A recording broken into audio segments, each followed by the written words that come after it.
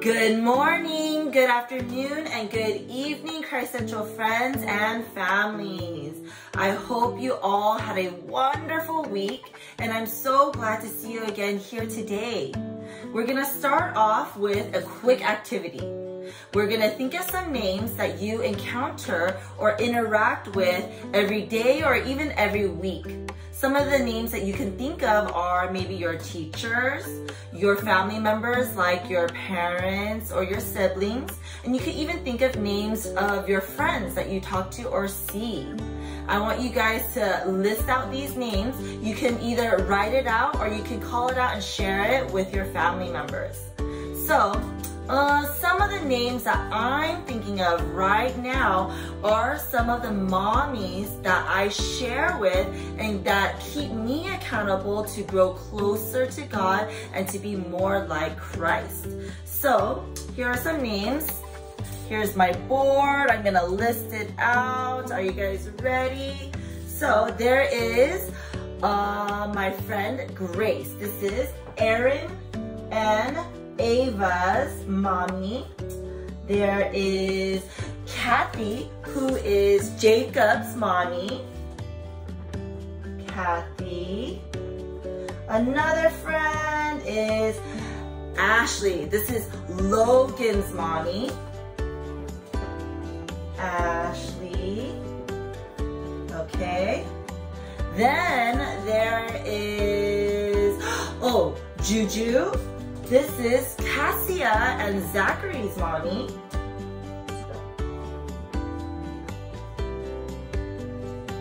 Then there is Michelle. This is Reagan and Austin's mommy.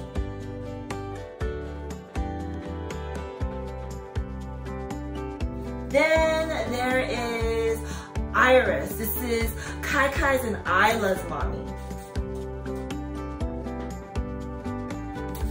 So now, these are some of the names that I thought of, friends that I share with and that help me be responsible and keep me accountable to grow closer, like I said, to God and be more like Christ.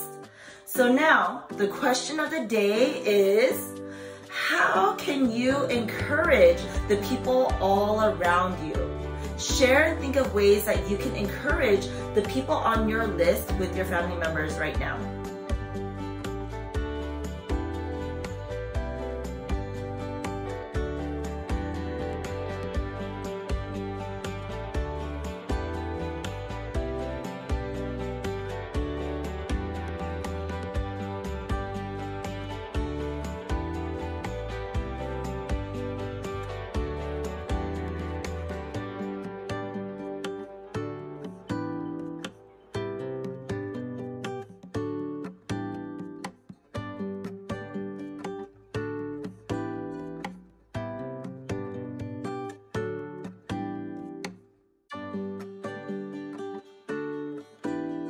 Great job, everyone.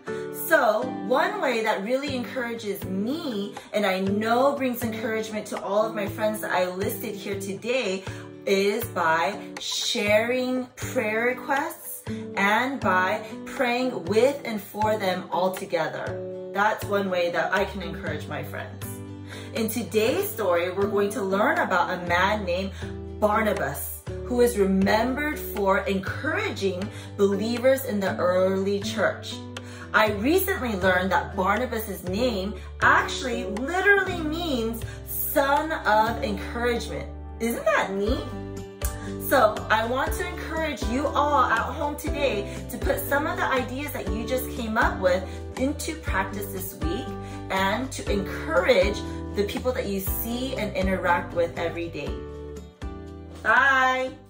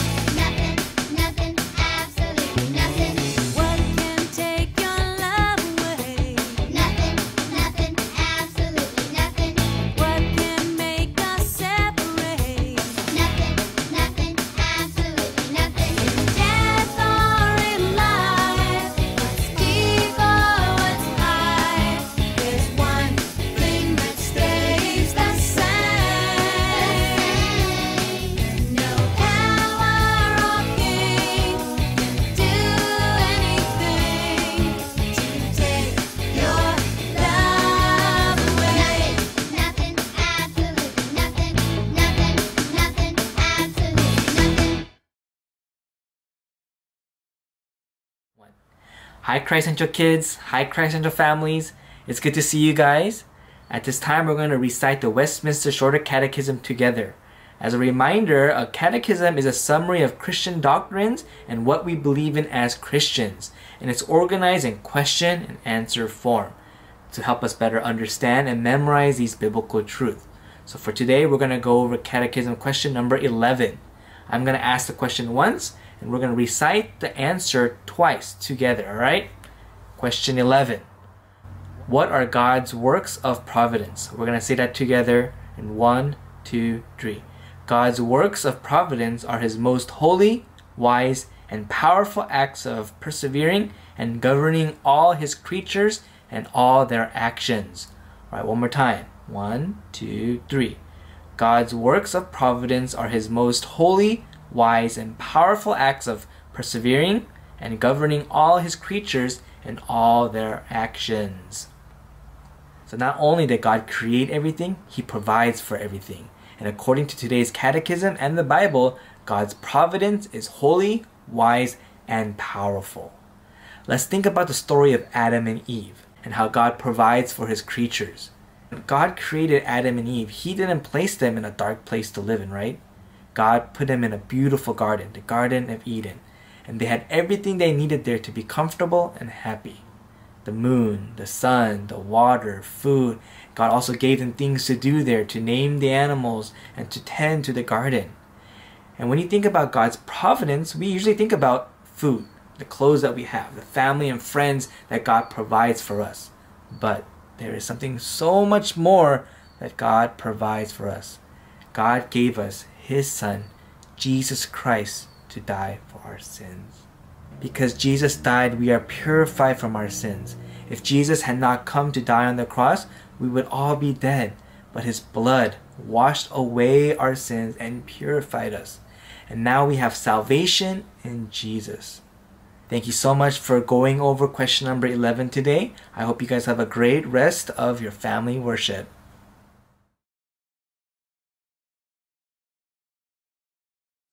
Hello, Christ Central. Today's Bible reading comes from Acts chapter 11, verses 19 to 30. So why don't you guys go get your Bibles and open up to Acts. I'll give you guys a few moments.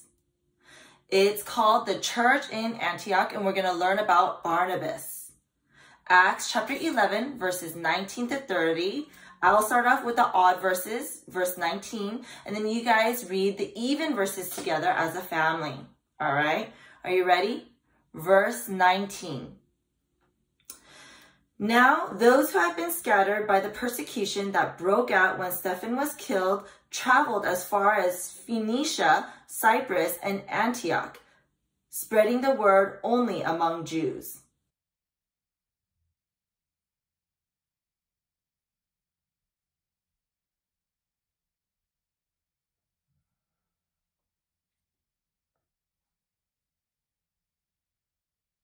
Verse 21 The Lord's hand was with them, and a great number of people believed and turned to the Lord.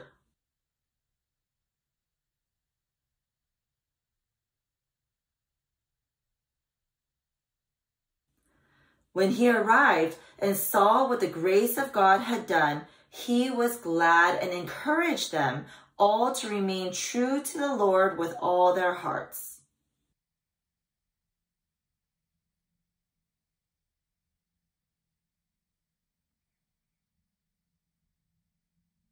Verse 25, Then Barnabas went to Tarsus to look for Saul.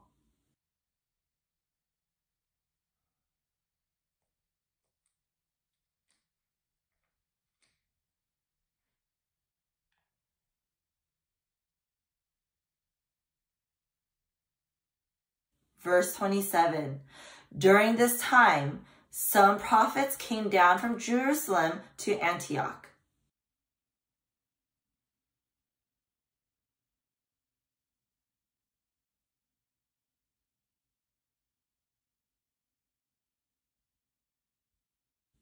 Verse 29, the disciples, as each one was able, decided to provide help for the brothers and sisters living in Judea.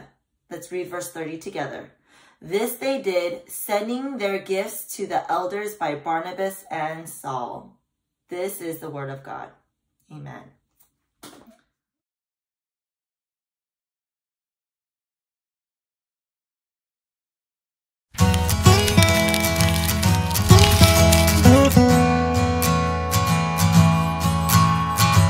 God had called Peter to tell everyone the good news about Jesus, no matter who they were or where they came from. So Peter shared the gospel not only with Jews, but with Gentiles. The Gentiles in hmm. Caesarea heard Peter's hmm. message and believed. Ah. God gave his Holy Spirit to these new believers, and they were baptized. Ah. Before long, the apostles and other believers throughout Judea heard the Gentiles had believed the good news about Jesus. They were surprised, so Peter shared about the vision God had given to him of the sheet of clean and unclean animals and his encounter with Cornelius. Peter explained that the gospel is for all people. Then the believers praised God and understood that Jesus had come for the Gentiles too. At the same time, believers who scattered after Stephen's murder had traveled to places like Phoenicia, Cyprus, and Antioch of Syria. In those places, the believers only shared the gospel with the Jews. But some believers from Cyprus and Cyrene went to Antioch and preached the gospel to the Greeks too.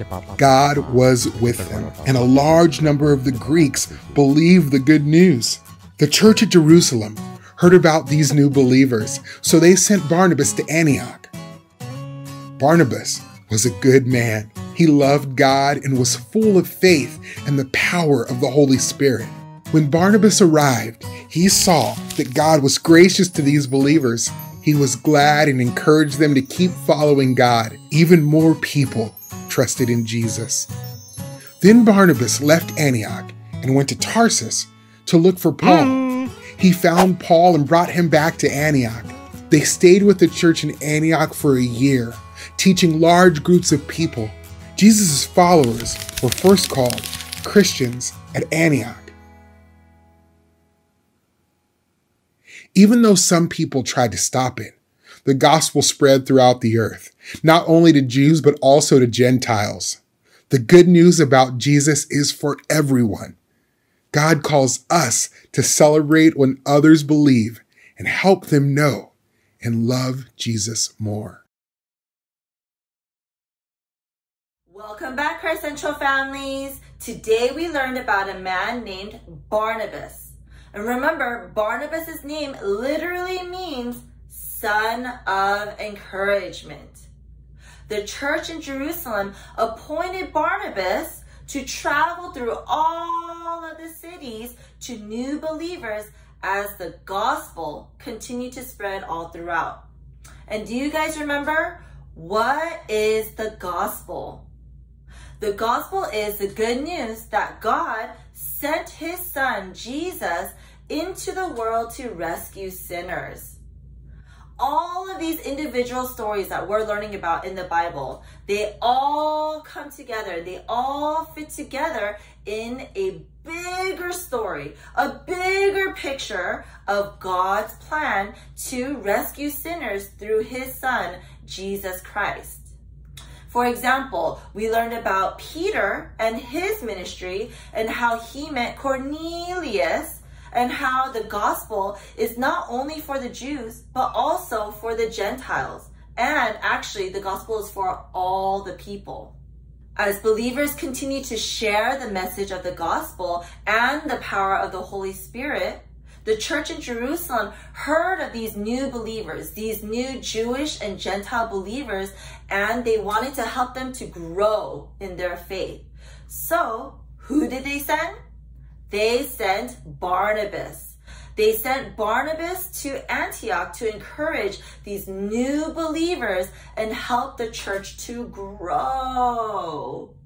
And through the Holy Spirit's work in Barnabas's life, Barnabas was able to challenge these new believers into serving the Lord. And he saw that so many more people trusted in Jesus. After Jesus' death, early believers faced many, many hardships. But through perseverance, they continued to share the gospel of the good news all throughout, even though many people try to stop them and try to not spread the gospel anymore. Here are some examples of people that we know at Christ Central that have encouraged the church and believers in other countries all around the world. Hi, Christ Central families. Pastor Andrew here, and I've been on many mission trips, but one of my favorite places to visit and go to is Paraguay. And each time that I've gone with our team, it's been such a blessing and encouragement to both us and the Paraguayans. We can learn so much from each other. We're able to serve each other. And we're reminded that God's family is a global family. And so we have brothers and sisters all over the world who love and care about us. And one of the great ways we can even show that care now is by praying. That even though we're far apart, we can pray for each other and love each other that way. Wow, that is so awesome and so encouraging to hear about others trusting in God and serving the Lord by spreading the gospel and encouraging other believers in other countries. The gospel is not just for one person. The gospel, the good news about Jesus is for everyone. God calls you, God calls me, God calls all of his believers at home or in other countries to celebrate when others believe and to continue to encourage and help others know more about Jesus' love. Let's pray. Father God, I thank you so much for the gospel and the good news. I thank you so much for your son, Jesus Christ, coming down to save us from our sins so that we may become closer to you. I pray, Father God, that you may use the Holy Spirit to give us courage and to use us, Father God, to spread this good news and this gospel and also to encourage our these new believers all around us, Father God, as Barnabas did in Antioch. I thank you so much for all that you have given us, and I pray that you will continue to be glorified in all that we say and do. In Jesus' name, amen.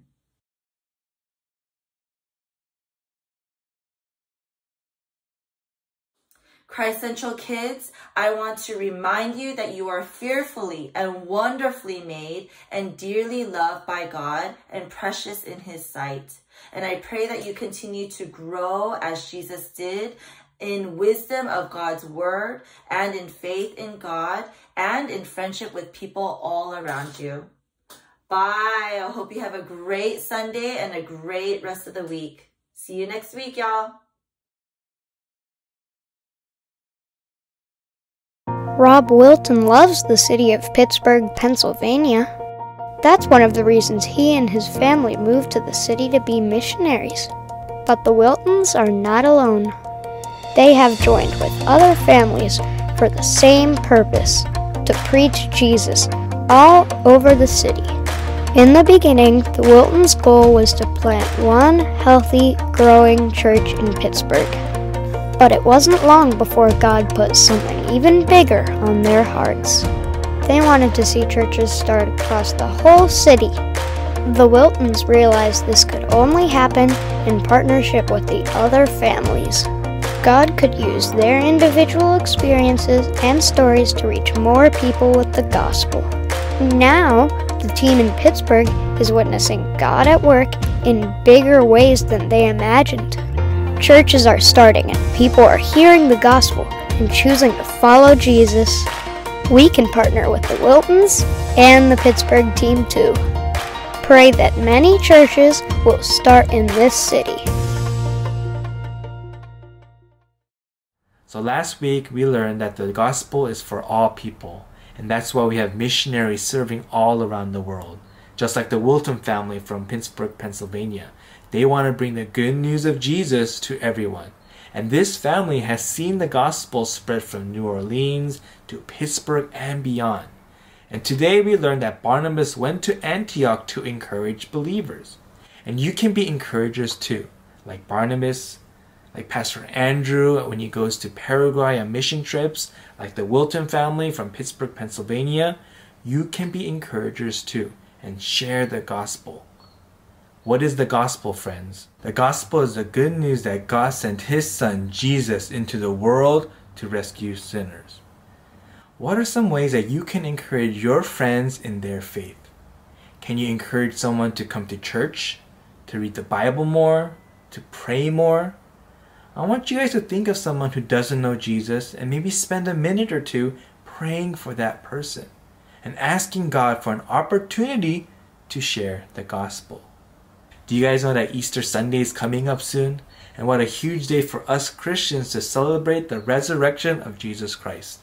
And I know that this year we might not be able to celebrate in person, but we still have our family worship. And this Easter, we're going to have our Sunday Fun Day Easter family worship. And do you guys remember that? We're going to have extra things. We're going to have a lot of fun things to do. And it'll be a perfect time for you to maybe invite a friend or a family to join us for our Easter Sunday family worship. So I want you guys to start thinking about someone that you can be an encourager to them to join us for our Sunday family worship. All right, thank you guys for joining us for today's family worship, and I hope to see you guys next week. Bye, guys. We will now end our worship with the Lord's Prayer. Boys and girls, do you know why we recite the Lord's Prayer? We recite the Lord's Prayer because this is how Jesus taught us to pray.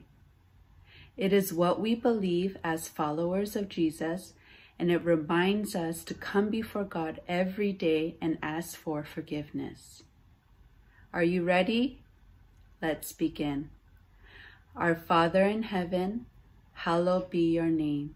Your kingdom come, your will be done, on earth as it is in heaven.